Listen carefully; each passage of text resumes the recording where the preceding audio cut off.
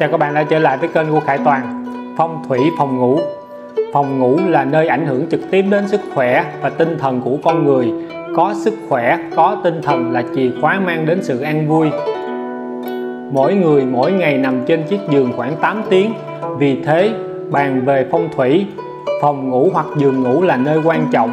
Nơi nghỉ ngơi thật sự là một yếu tố quan trọng trong phong thủy. Phương pháp bố trí giường như thế nào là đúng? Có 3 bí quyết. Thứ nhất nhất định phải chọn ngày để cho giấc ngủ ngon. Việc này ví như ta bước vào một không gian đúng thời điểm, giường nên chuẩn bị sẵn ra gối nệm. Thứ hai, khi đặt giường phải chọn đồ mới, không để ai khác ngủ trên chiếc giường của mình. Giường cũ, nệm cũ, máy lạnh cũ của người chủ trước lưu lại khí trường cũ, không phù hợp với khí trường của bạn, tạo ra sự xung đột, không phải là điều tốt thứ ba, khi nằm trên giường, quan sát hai bên. Bên trái đại diện cho thanh long. Tốt nhất nên có cửa, có tranh hoặc là có tủ quần áo. Bên phải đại diện cho bạch hổ, nên thấp hơn một chút. Bên trái phải mạnh hơn bên phải. Nhất định không nên để giường ở chính giữa căn phòng, tức là đầu giường không có điểm tựa. Đặt bố cục như vậy là đại kỵ trong phong thủy. Khi nằm trên giường, trần nhà nên bằng phẳng kỵ xà ngang đè lên. Các loại trần giả, trang trí đèn ẩn bên trong cũng xem như một loại sàn ngang, là điều không tốt. Không khí trong phòng nên thông thoáng, không mùi ẩm mốc. Tránh để các tạp vật lâu ngày không dùng, sẽ phát sinh ra khí khuẩn lẫn vi khuẩn. Màu sắc của căn phòng nên phù hợp với bát tự những người ở trong phòng, vì mỗi người đều có một từ trường, một cơ duyên riêng. Từ sinh thần bát tự tức năm tháng ngày giờ sinh để xét một lá số, để xét một vận trình. Xung quanh người này tốt xấu như thế nào? Vì vậy, trước tiên là có con người, sau đó là có môi trường và không gian. Một người có sinh thần bát tự vào mùa đông lạnh, thường là cần sự ấm áp. Thường dùng màu phòng màu ra gối nệm, màu ấm như màu đỏ, tím, vàng. Một người có bát tự sinh vào mùa hè oi bức, cần sự mát mẻ thường dùng màu phòng ra gối nệm, đồ vật trong phòng là màu sáng như màu trắng, xám, xanh dương. Vì vậy, phong thủy màu sắc của căn phòng không nhất thiết phải dựa vào quẻ của ngôi nhà quyết định, mà nên dựa vào dụng thần bát tự của mỗi người để quyết định. Giả dụ, hai vợ chồng có dụng thần khác nhau, màu sắc của ra gối nệm nên dùng màu chung dung, màu áo gối, màu mền, có thể dùng theo màu phù hợp với mỗi người. Ngay tại giường ngủ không nên đối diện với các loại cửa cửa sổ, xấu nhất là cửa nhà vệ sinh, vì đây là nơi ô uế nhất của căn nhà. Tầng bên dưới không nên có bếp, sẽ phàm phải hỏa thiêu tâm trạng, gây bức bối người nằm bên trên. Trần nhà nên bằng phẳng.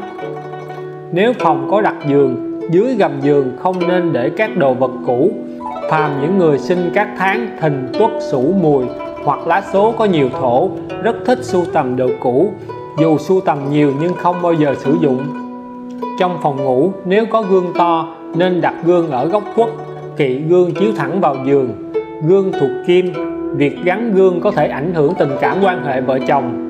Gương trong phòng phản chiếu giường ngủ, phản chiếu đầu giường là điều tối kỵ, đại diện cho vợ chồng trục chặt bất hòa, có thể xuất hiện người thứ ba.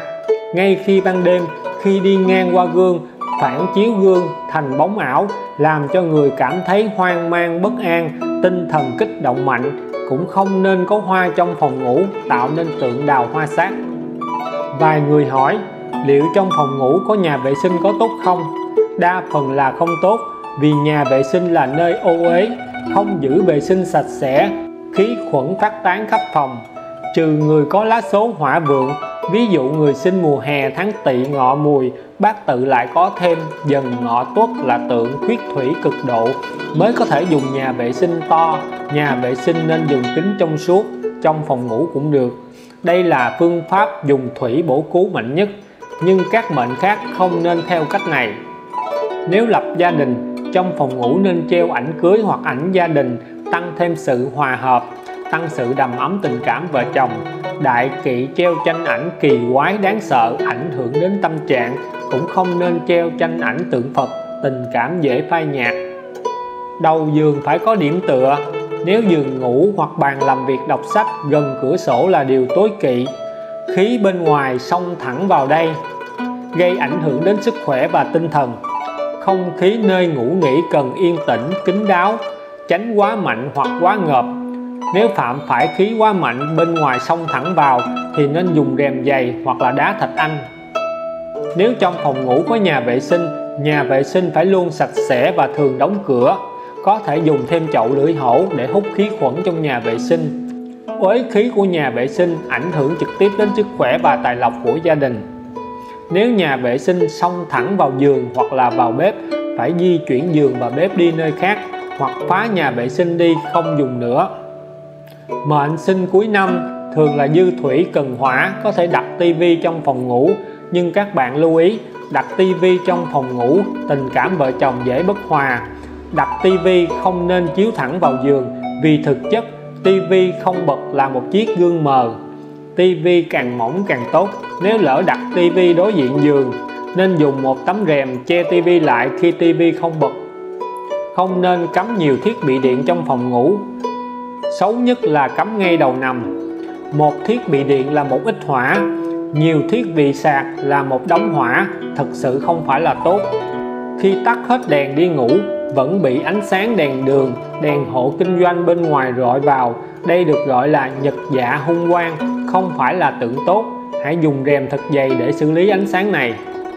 Tàn phong tụ khí là câu nói về sự chuyển động của gió phong thủy tốt là yêu cầu tránh gió và khí có hại, hoặc là gió quá mạnh.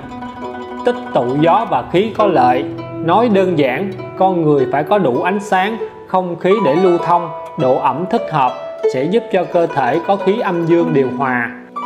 Có một loại thương sát đó là phòng ngủ đối diện với cửa chính. Đặc biệt với những ngôi nhà có diện tích quá lớn, nếu hành lang quá dài và thẳng khí từ cửa chính xông thẳng vào phòng ngủ, giống như một con dao cắt căn phòng thành hai phần, ảnh hưởng nghiêm trọng đến vận trình của những người trong phòng này. Điều này cũng tương tự, cửa chính hai nhà đối diện nhau là phong thủy xấu. Cả hai nhà xung thẳng với nhau, nếu ở diện tích gần sẽ tạo ra một hiện tượng, một nhà thịnh vượng, một nhà suy.